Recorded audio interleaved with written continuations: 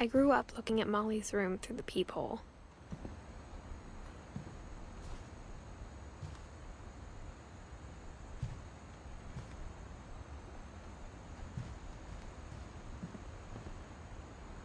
I got the sense Edie had spent a lot of time here.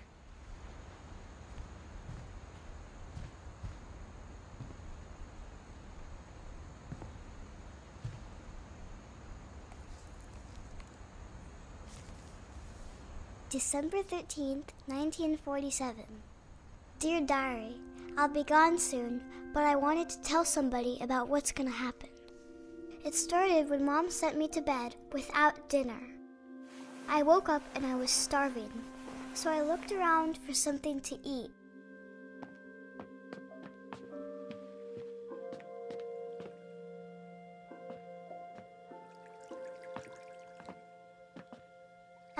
Eating Christopher, but I held back.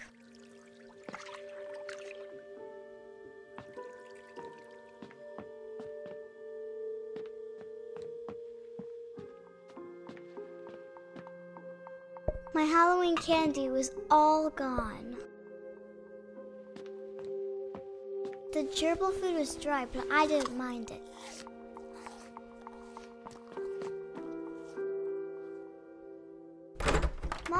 Can I come out now? Sweetheart, it's late. Go to sleep.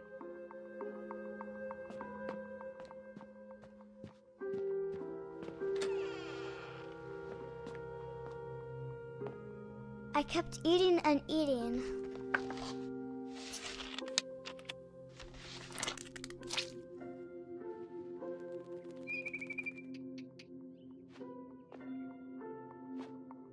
I ate a lot of things that night.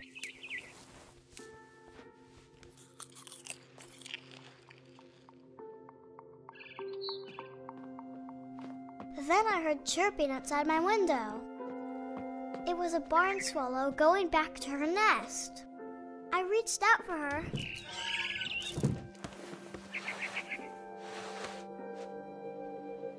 And suddenly, I tried to be quiet, but the bird was really scared.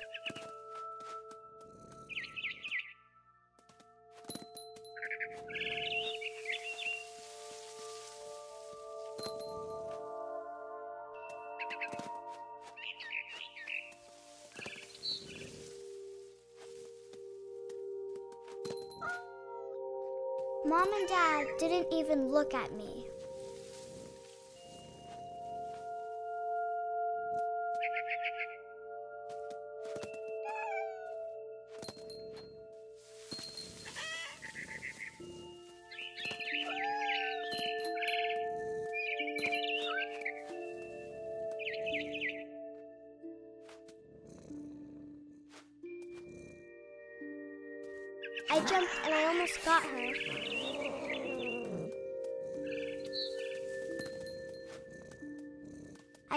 She was getting really tired. Now I was up in the big tree. I promised Dad I wouldn't climb it anymore. All I cared about was eating that mama bird. I gobbled her up. And suddenly, I was an owl. First, all I heard was the wind. Then I heard little teeth nibbling in the grass.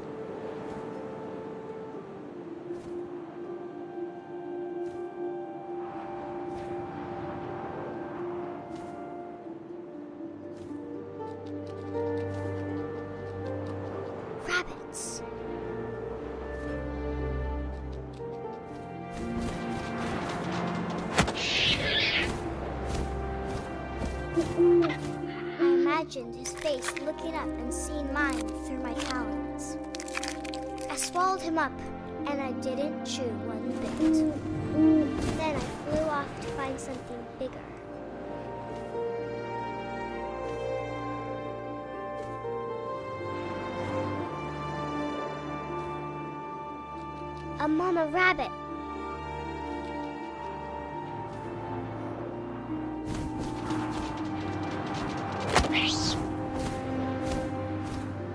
She was almost too big to carry. I started choking, but I couldn't stop eating.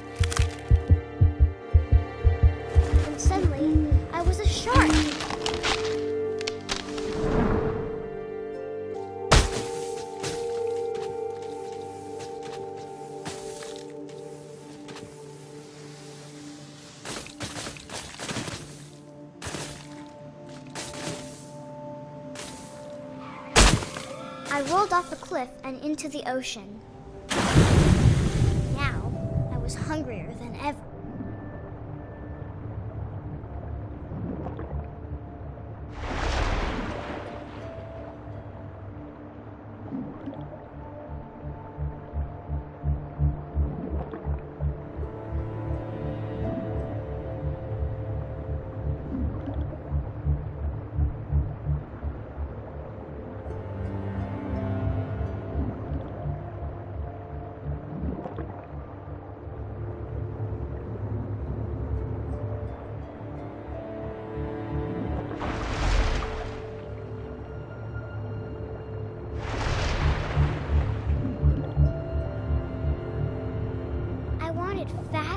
juicy seals.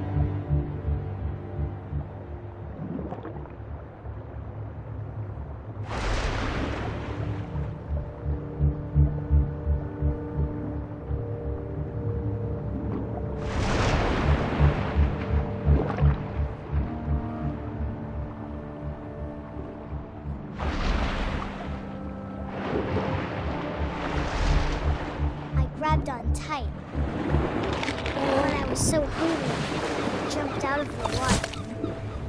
When I opened my eyes, everything had changed.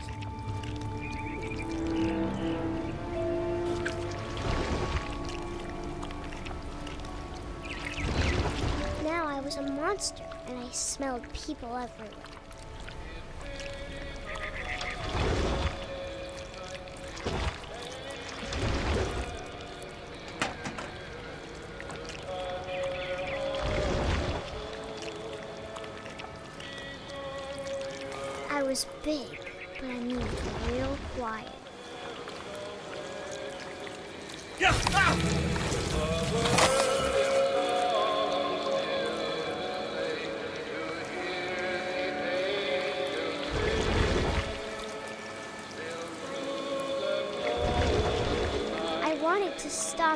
Also, I didn't.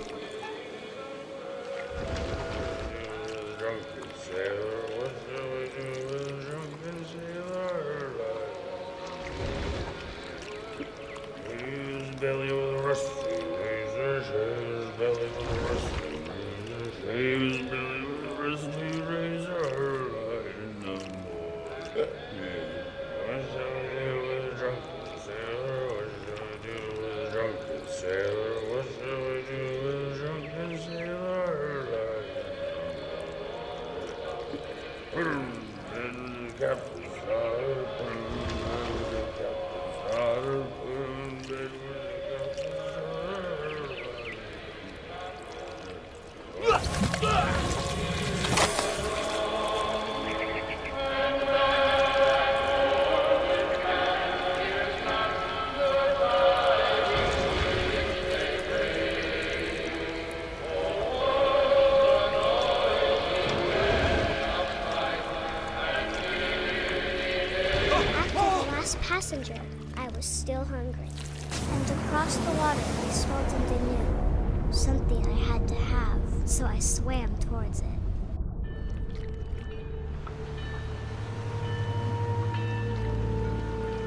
slithered onto the sand, and the good smell went into an old pipe.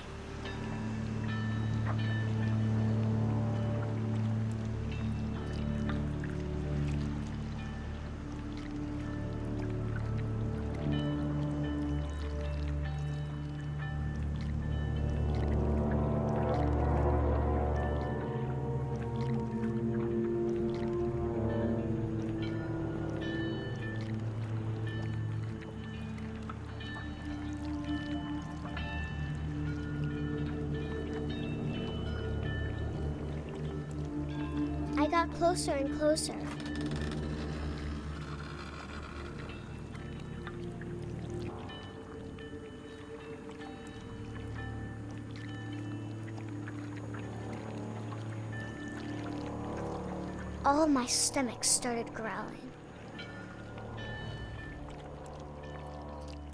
And suddenly, I was me again.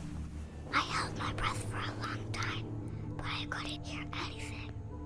I think it's waiting for me to fall asleep. But it's not going to wait much longer. It needs to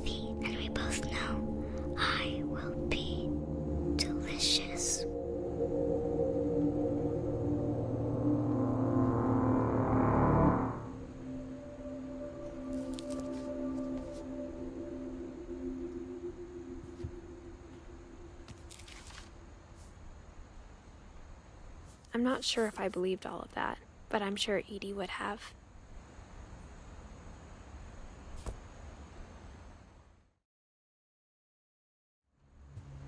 Growing up, I always thought of Barbara as a child star.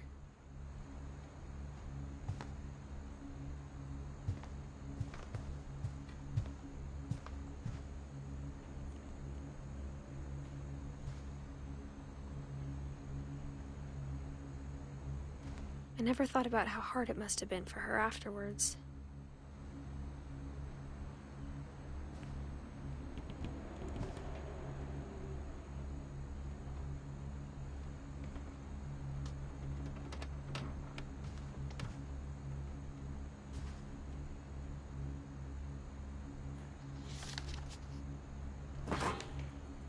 Of all the stories people wrote about Barbara's death, I'm surprised Edie saved this one.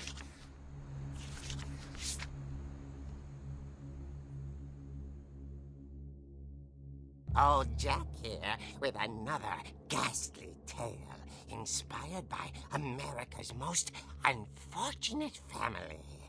I'm calling it The Surprise Ending of Barbara Finch.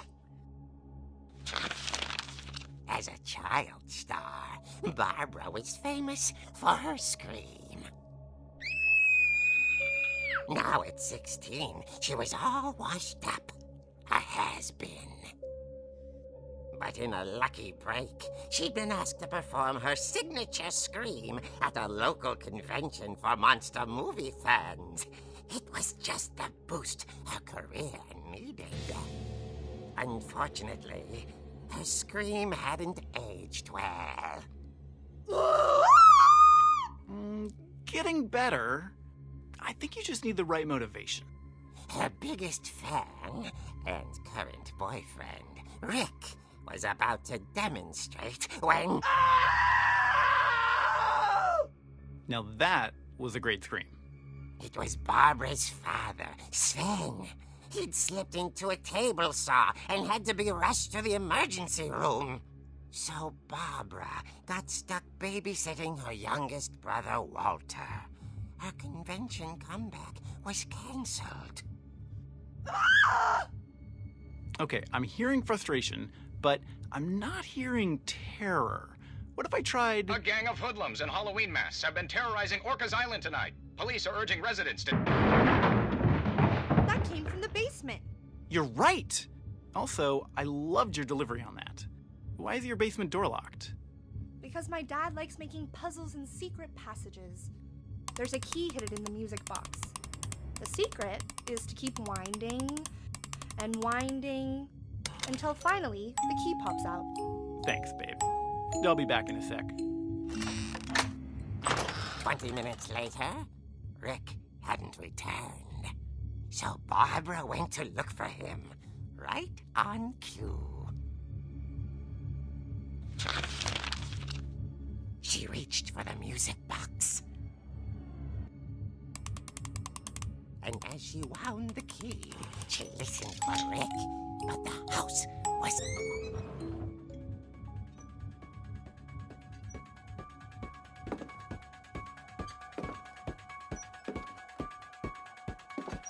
She found Rick's crutch and imagined the worst.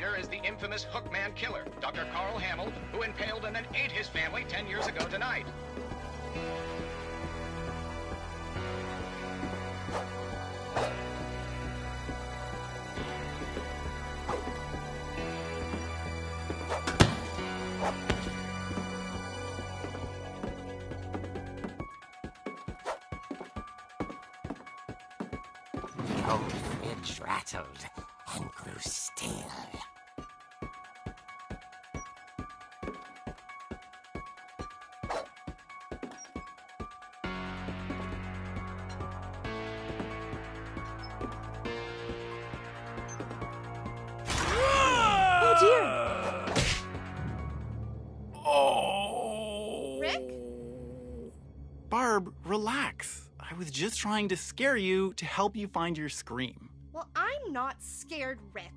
I'm furious. Then act furious. All I'm getting from you now is that you're hurt and confused and you. She threw him out, but she kept a little something to remember him by. Barb, have you seen my other crutch? And she was still holding it when she fell asleep watching the late, late picture show. Hours later, Barbara! Walter, what's going on up there? Ah! Okay, I'm coming up, but if this is a trick, you're dead, Walter. Walter,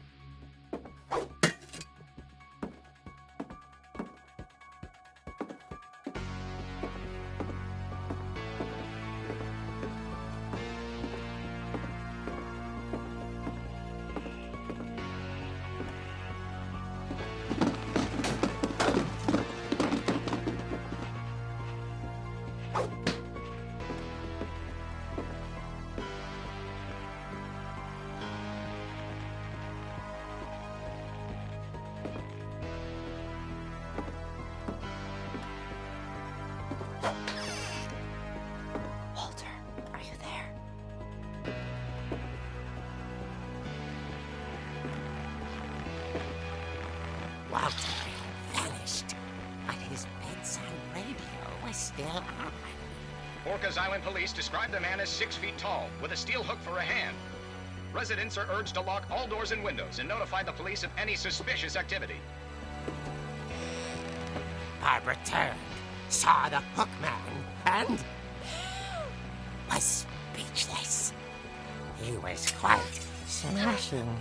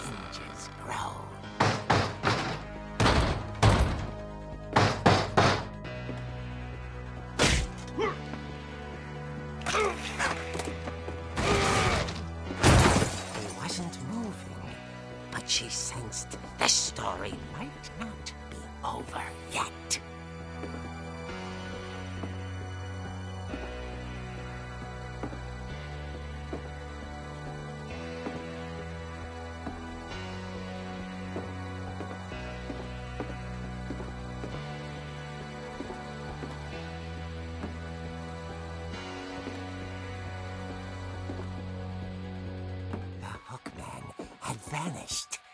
She listened for his breathing, but all she heard was.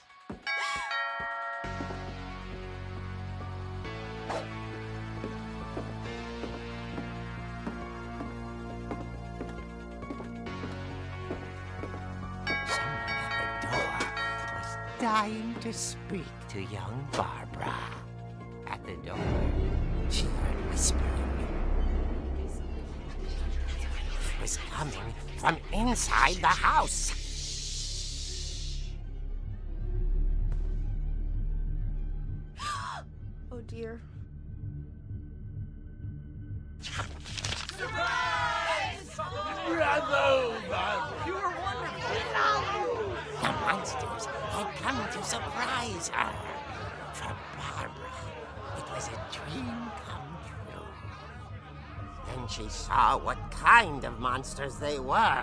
She realized what was about to happen.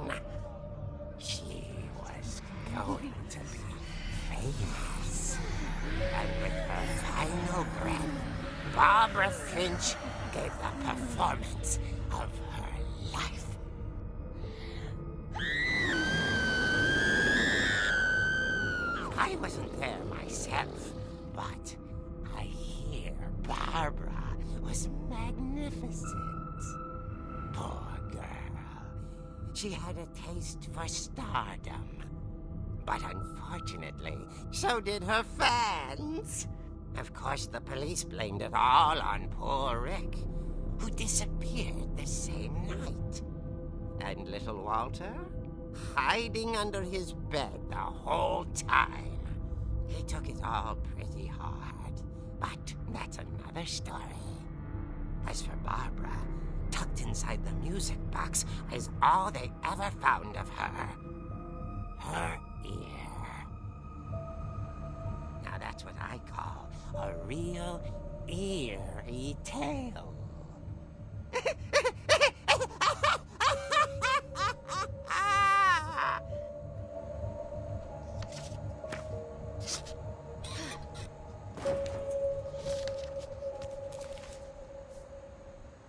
Edie told me all Barbara wanted was to be remembered, as absurd as that comic was. Maybe what Edie saw was a happy ending.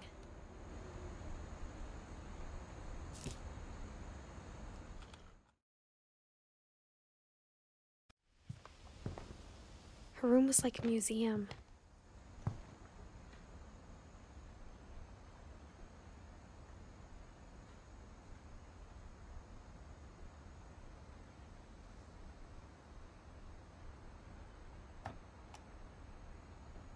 For 500 years, the Finches have been famous throughout Norway for their fortune and misfortune. Odin Finch buries the latest victims of the family curse his wife Ingeborg and their newborn son, Johann. On January 7th, 1937, he set sail with his family and his house, hoping to leave the curse behind. But 40 foot waves off the coast of Washington send the house and Odin to the bottom of the sea. Odin's daughter Edie, with husband Sven and baby Molly, step ashore on their new home, Orcas Island. Odin Finch is the first to be buried in the new family cemetery.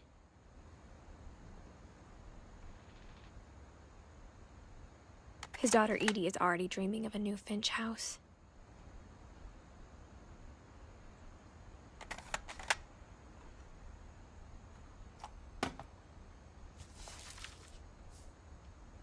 Whatever's wrong with this family, it goes back a long ways.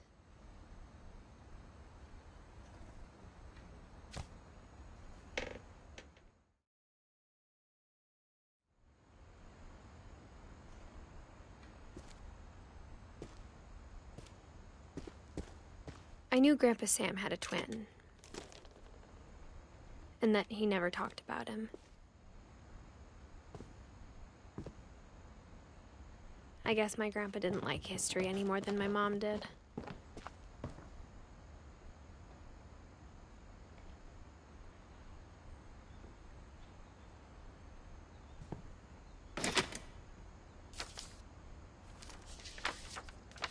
How I Want to Remember My Brother by Sam Finch. The thing I remember is that when he made up his mind, that was it. My brother said he'd die before he ate another mushroom. And he did. At Barbara's funeral, he swore we'd never be afraid again. And he wasn't. I think Calvin always wanted to fly. Sam! Calvin! Dinner's ready! Coming! But that day, he finally made up his mind to do it. I told him going around was impossible. Maybe if I hadn't said that,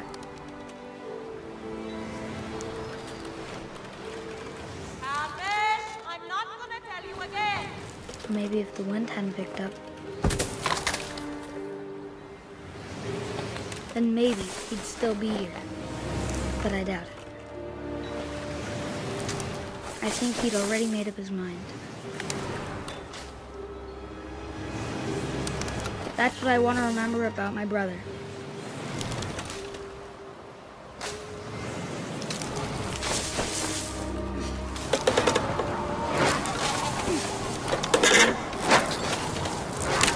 The day he made up his mind to fly.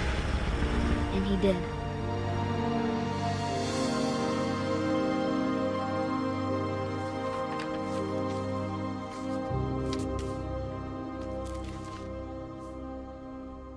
Calvin's story felt strangely familiar. When I was younger, I remember trying to do the exact same thing.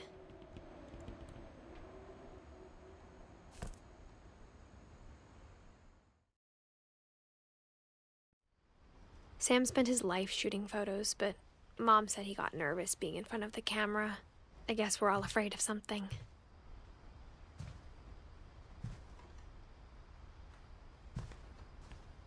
Instead of hiding from death, Sam seemed to go out of his way to meet it.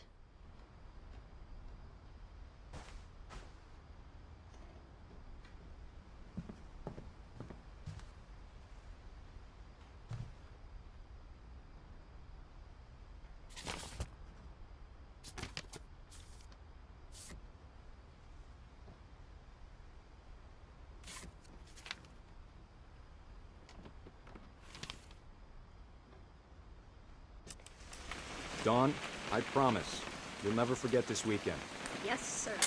These memories are gonna last a lifetime. Hmm? What? Am I gonna have to shoot anything? It's a hunting trip, Dawn. Shooting is strongly encouraged. Perfect. It's gonna rain the whole weekend, isn't it?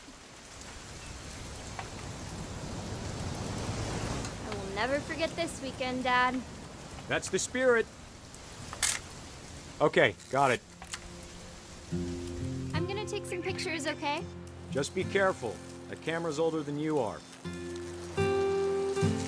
Hmm. Definitely should not. Hey! That's a keeper. I'm just saying, I'm not always gonna be here, Dawn. You'll need to remember this stuff if you want to survive. I'll be fine, Dad. You know who else thought he was gonna be fine? Some guy who died. Dawn, I'm being serious. I know, Dad. You're always serious. Doesn't being out here make you want to chill out? Well, to tell you the truth, I haven't been out here in 20 years.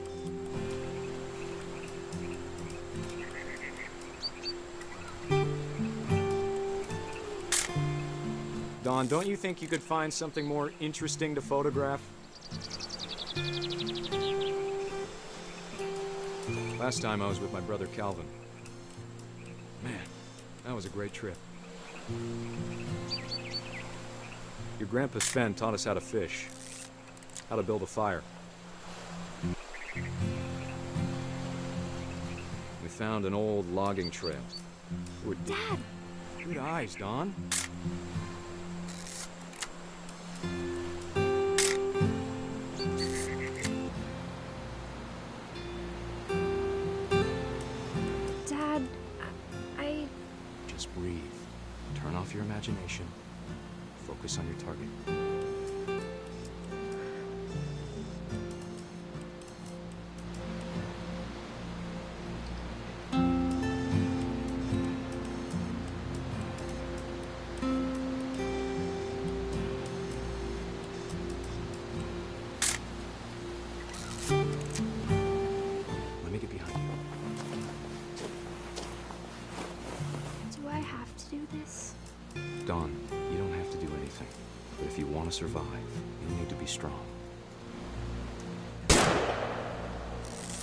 Great shot, Dawn.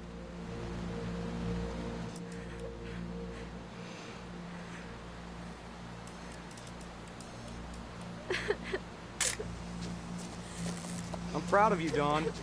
Always remember that, okay? Dad, it's twitching. I think That's totally normal, Dawn. Just focus on the camera. Try not to think about- Dad!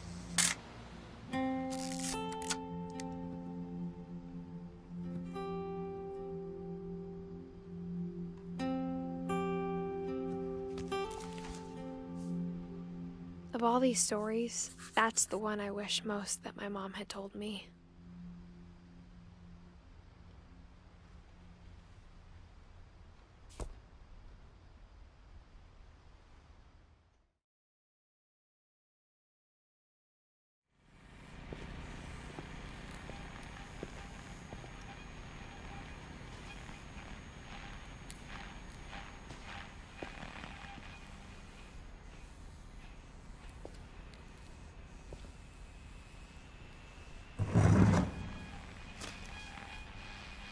Goodbye, everyone.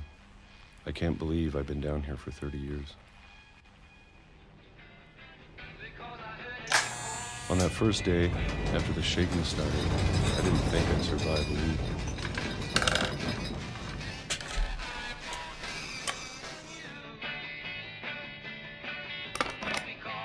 But after a few days, I settled into a routine. That's what kept me sane. Having a schedule, living for today. I always expected to be dead tomorrow. But if you wait long enough, you get used to anything.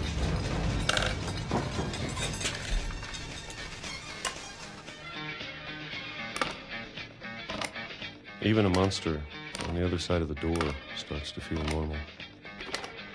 Almost friendly.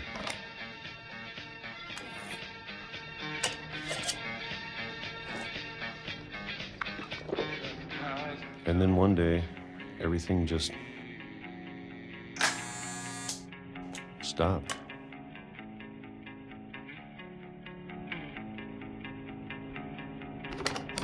Whatever that thing was, it was gone. Maybe it got tired of waiting. Or maybe I just got tired of being afraid.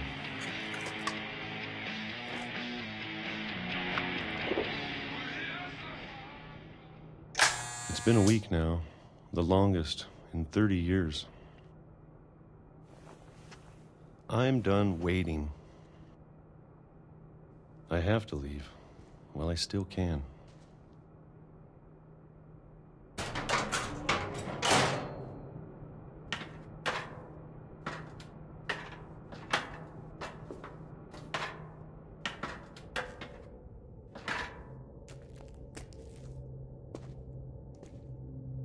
I know it's out there somewhere. Whatever killed Barbara and Molly.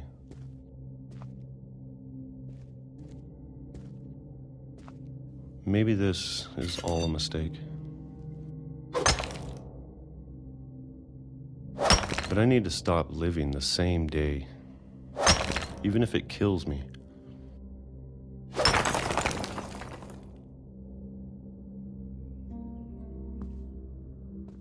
Out there, I want you to know I'm ready for it. I'm going to appreciate all of it, especially the food. I don't mind if I only have a year left, or a month, or a single week. I'd be happy with one new day. I can already imagine the sun on my face.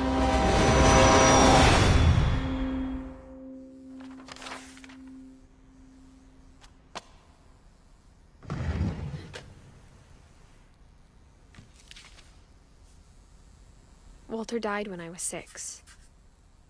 I can't believe my mom never told me he was down here.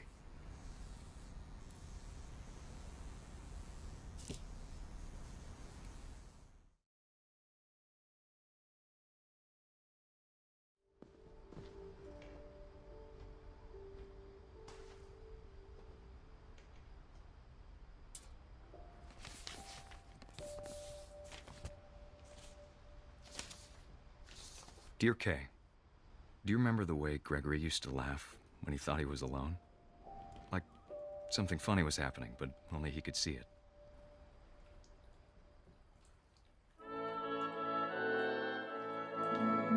I think he saw things the rest of us don't.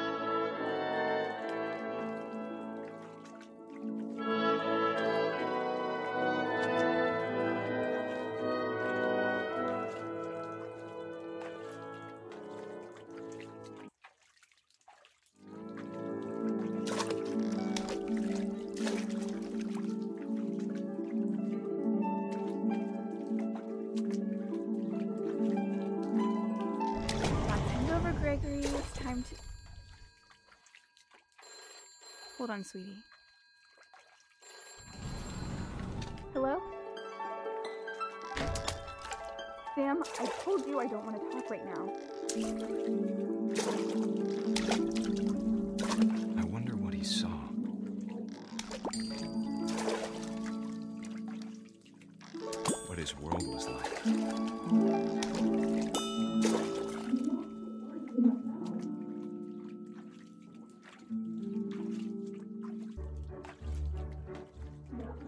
He reminded me so much of Calvin. Lost in his imagination. Whatever it was he saw.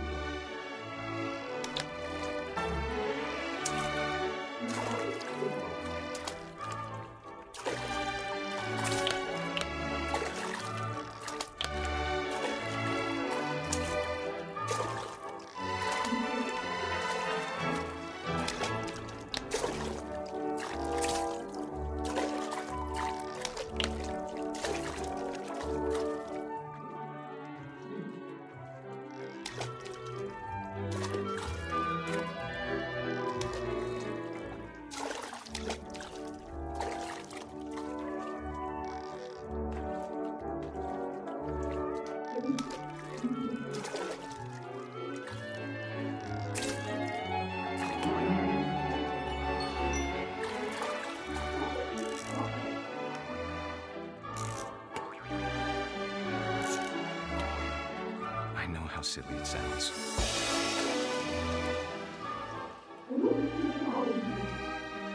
That I worried about a baby being too happy. But I could feel him slipping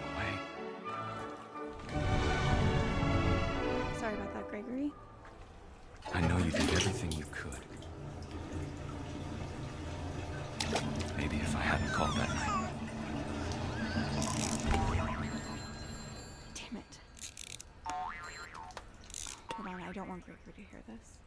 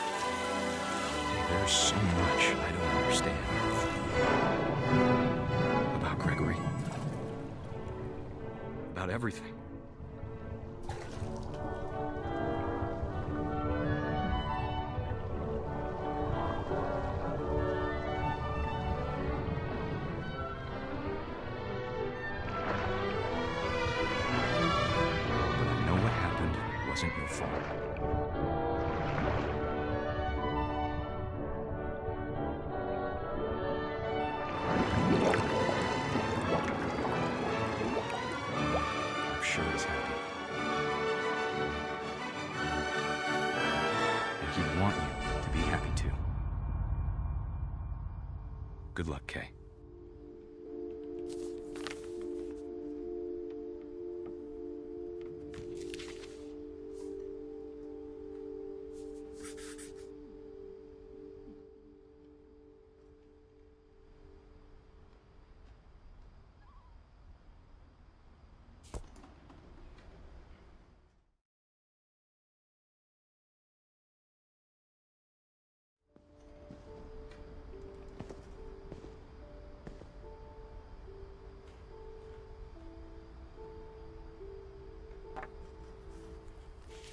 Poem for Gus, who always said the wedding was a bad idea. Our father never hit us kids, at least not very hard, before the day my brother said with teenage disregard that he'd be dead before he'd see a wedding in our yard.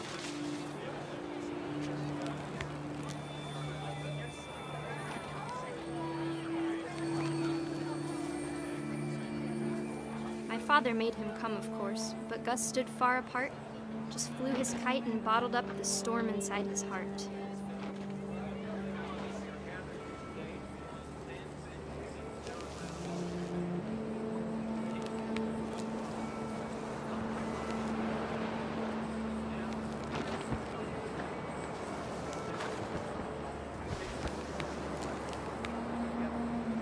I tried to talk him out of it, but though he'd never met her, we don't need a stepmom, were the words that I I now pronounce you husband and wife. You may kiss the bride.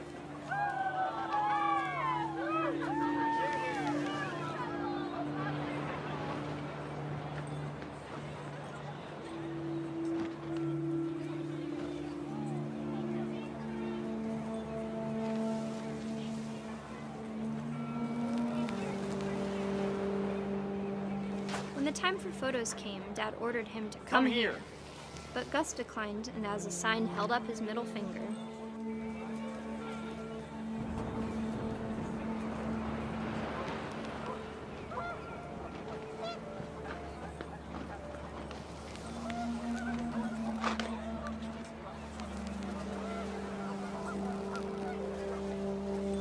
The wind picked up, and panicked geese appeared and quickly went. But all the humans did that day was go inside the tent.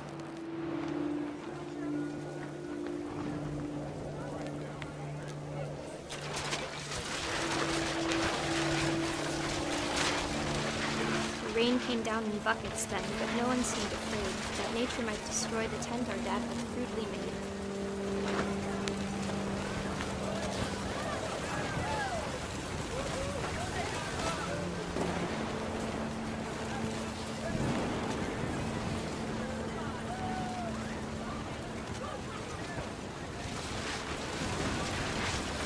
The thunder sounded much too make the music louder.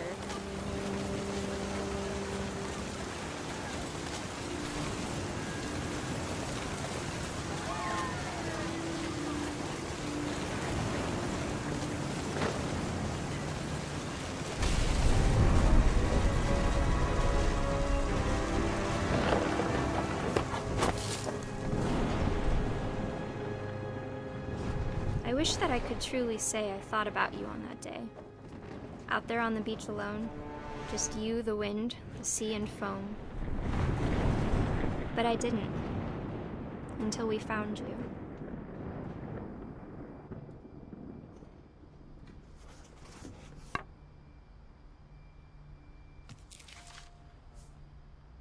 She never talked about him, but Mom told me once if I was a boy, they were going to name me Gus.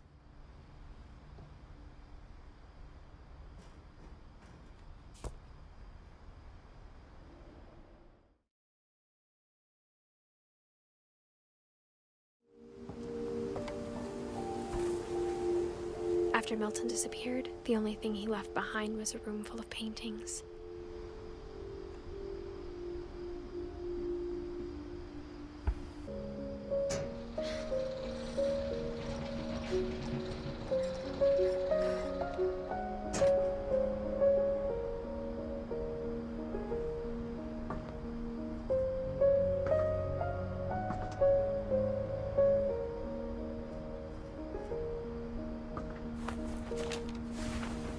Finch in The Magic Paintbrush.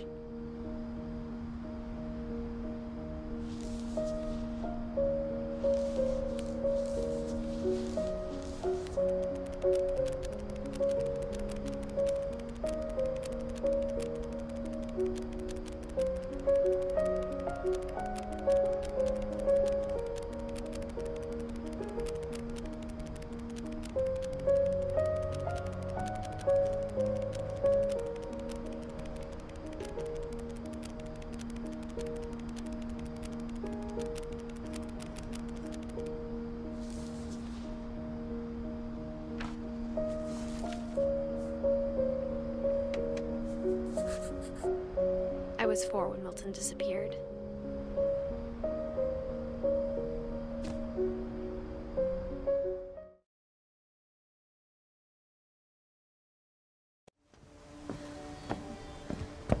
Lewis's room smelled very, very familiar. That part of him lived on.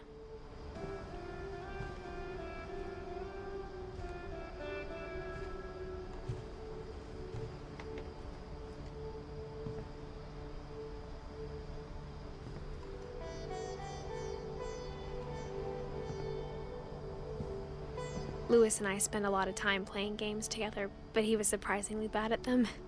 He died a lot.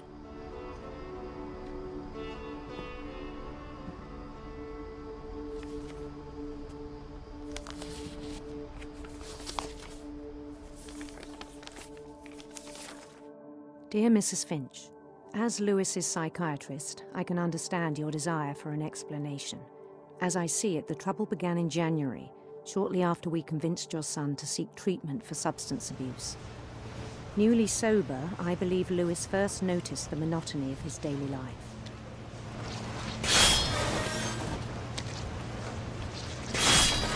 He kept working at the cannery, but he withdrew part of himself. In our sessions, I saw the same behavior. His mind began to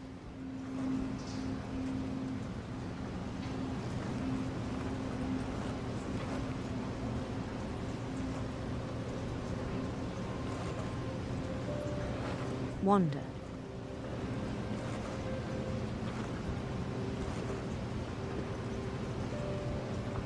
I asked him to describe it.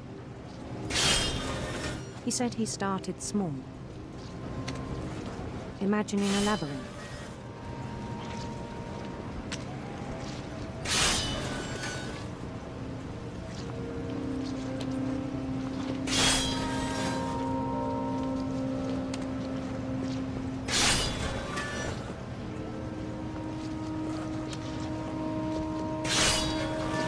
Feel his way about.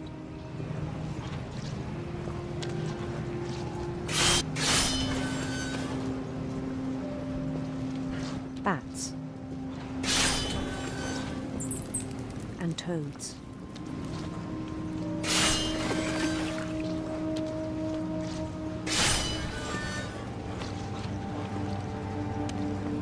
And things that have not names.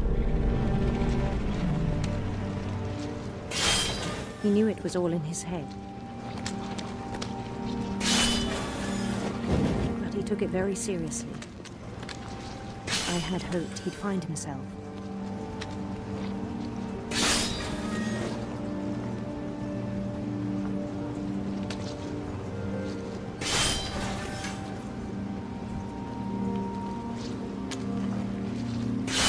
But he found something more. I worried about him then. Daydreaming at the cannery.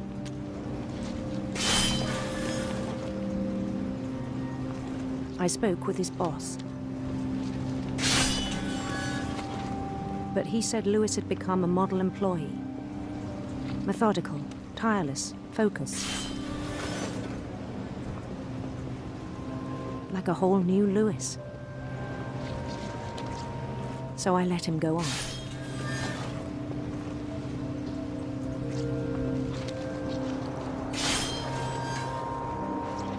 Even encouraged him. It seemed very promising at first. He told me he'd made a new friend.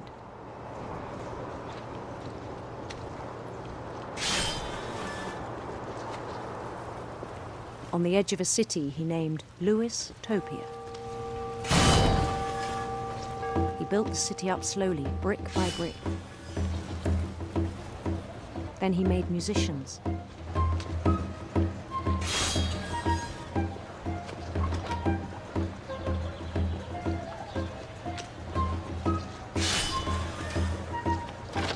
And songs for them to play.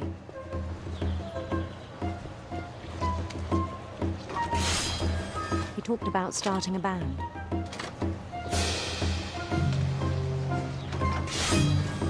and he was always humming something.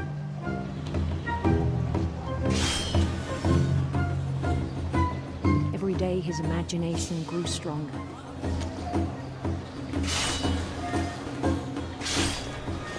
But his chopping was as reliable as ever. Then one day it struck him that all the cheering crowds, even the stones under his feet,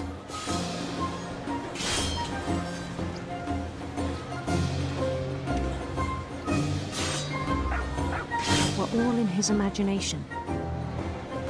So he could do whatever he wished.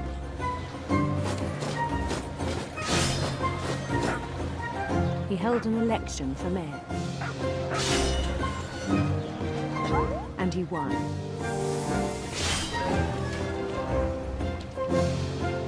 They begged him to stay, but his mind was already wandering. It became a game for him.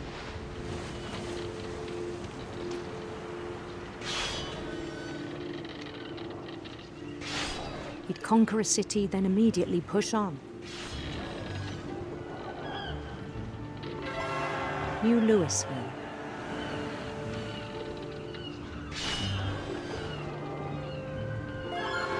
St. Louis. He started drifting away from our reality.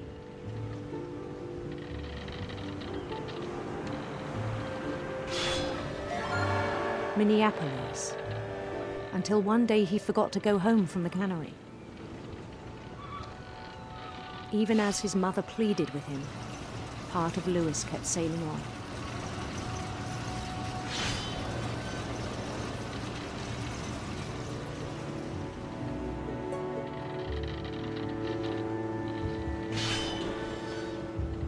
In Louisburg, he heard rumors of a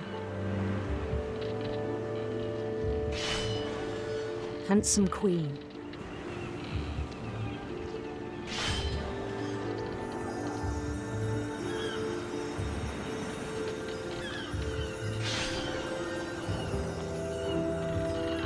The queen was on her own quest for radiant rainbows.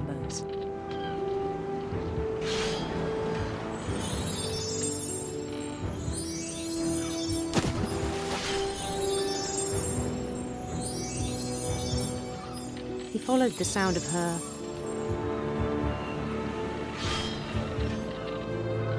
electric sitar.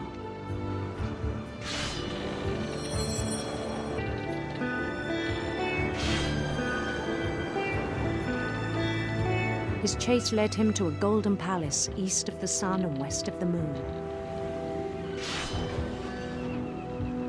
Even then, his logic remained sound.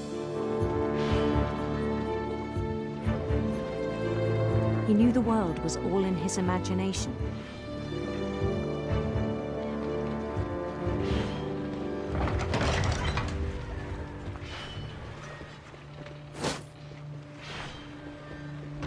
But he was so proud of having created it. In his own eyes, he'd become something greater than a king.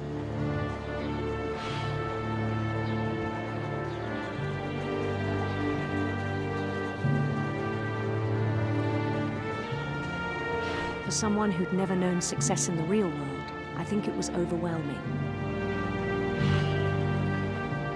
And then it struck him that the real Lewis was not the one chopping salmon, but the one climbing the steps of a golden palace.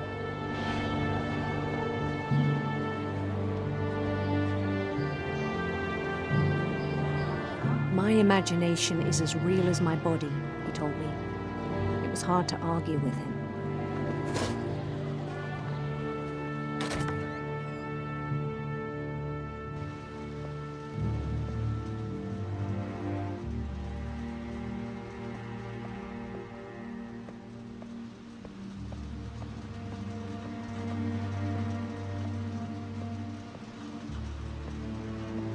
To forget the world we know.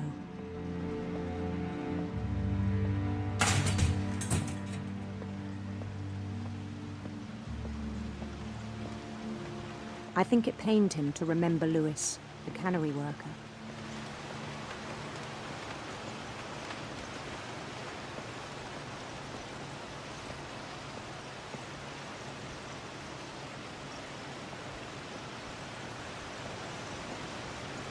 He began to despise the man with a royal contempt.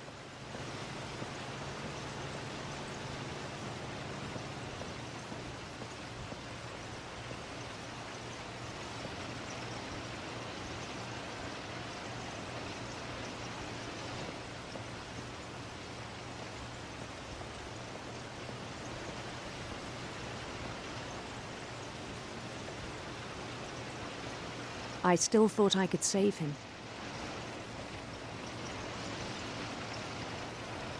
Even after he said he was being crowned king over all the lands of wonder.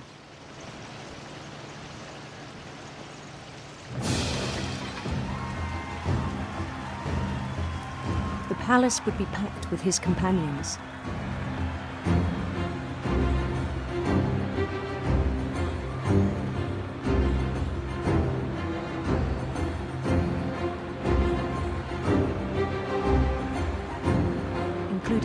Wise Calico who'd insisted on advising him.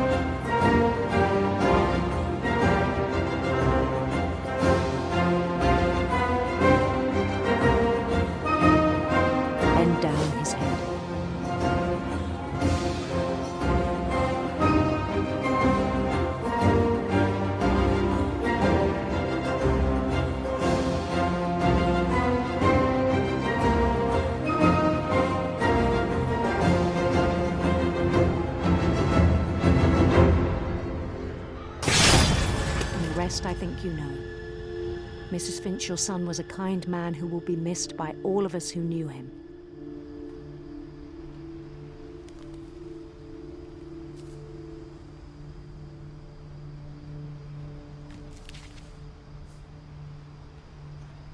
My brother was really cool. I wish you could have met him.